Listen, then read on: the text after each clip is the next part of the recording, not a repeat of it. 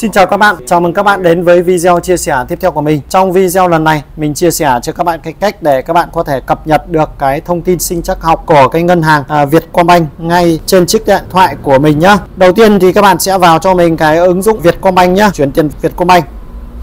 Và đây thì mình đã đăng nhập sẵn rồi Còn nếu mà các bạn nào mà chưa đăng nhập Thì các bạn sẽ điền mật khẩu vào để các bạn à, đăng nhập vào bên trong cái ứng dụng chuyển tiền nhá Tiếp đến thì ở trong cái à, chức năng ưa thích nhá thì các bạn sẽ tìm đến cho mình cái phần là Ở đây thì các bạn sẽ tìm đến cho mình cái phần là cập nhật sinh chắc học nhá. Còn nếu mà các bạn nào mà không nhìn thấy cái phần cập nhật uh, sinh chắc học ở đây thì các bạn có thể chọn vào cái ô tìm kiếm đây. Sau đó thì các bạn sẽ gõ cho mình cái từ khóa là cập nhật sinh chắc học nhá. Đó. Thì các bạn sẽ tìm ra luôn và bước đầu tiên thì các bạn cần chụp cho mình cái mặt trước và mặt sau của cái căn cước công dân gắn chip nhá. Thì ở đây thì mình đã chuẩn bị sẵn rồi. Giờ mình sẽ chụp đây.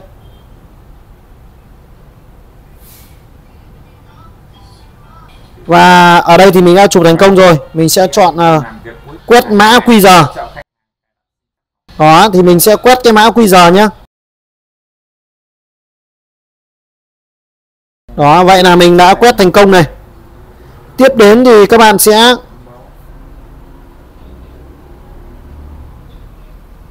đây nhá thì các bạn nhìn để ý thấy cái video hướng dẫn nhá. Thì uh, hướng dẫn đọc thẻ này. Bước 1 này vui lòng đặt cái phần nâng của điện thoại gần mặt sau của thẻ gắn chip nhá.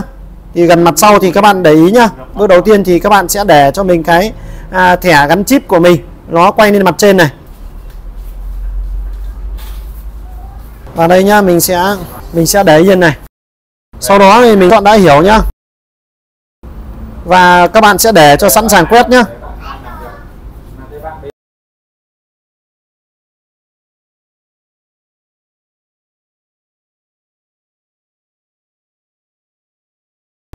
Đó, thì ở đây đã đọc thông tin trên chip thành công rồi nhá. Và giờ các bạn sẽ chụp cho mình cái mặt sau của cái thẻ gắn chip nhá. Các bạn sẽ làm lần lượt theo hướng dẫn nhé đó khi các bạn chụp thành công rồi thì các bạn sẽ chọn cho mình xác nhận nhé và giờ các bạn đến cái bước à, xác thực khuôn mặt nhé thì à, giờ mình sẽ và giờ mình sẽ chọn bắt đầu chụp nhá. Chụp anh làm theo hướng dẫn. Đó, thì vui lòng đưa gần gương mặt vào chính giữa này. Đó thì các bạn sẽ làm lần lượt theo từng bước nhá đó, thì khi chúng ta làm theo từng bước thì nó đã xoay hình tròn. Và nó báo là cập nhật sinh trang học, ok nhá, thành công nhá.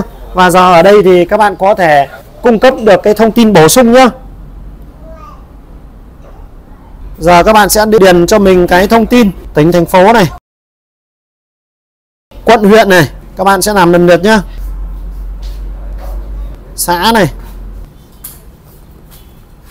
đó thì ở đây thì các bạn có thể chọn địa chỉ cho mình cũng được. Và ở đây thì mình đã tỉnh thành phố, quận, huyện. Và các bạn có thể điền cái số điện thoại ở đây nhá. Và ở đây khi mình đã điền đầy đủ thông tin rồi thì các bạn sẽ tích vào cho mình là tôi đã đọc và đồng ý nhá. Tiếp đến thì mình sẽ chọn tiếp tục. Và đây, tiếp đến thì các bạn sẽ chọn cho mình xác nhận nhá. Và mình sẽ chọn tiếp tục và mình sẽ chọn xác nhận nhá đó thì ở đây thì đã có một cái tin nhắn của Vietcombank báo về là cho chúng ta là biết là chúng ta đã cập nhật thành công sinh chắc học ở trên cái ứng dụng Vietcombank nhá. Và ở đây thì cũng đã thông báo là quý khách đã đăng ký thành công. Đó, và mình sẽ quay về trang chủ nhá. Đó, vậy là cái video vừa rồi mình đã chia sẻ cho các bạn cái cách để các bạn có thể cập nhật được thông tin sinh chắc học ngay ở trên điện thoại của mình bằng cái ứng dụng à, Vietcombank nhá. Thì xem xong cái video này, các bạn thấy cái video này của mình hay và hữu ích thì các bạn hãy like và đăng ký kênh để theo dõi và ủng hộ những cái video chia sẻ hữu ích tiếp theo của mình. Mình xin cảm ơn.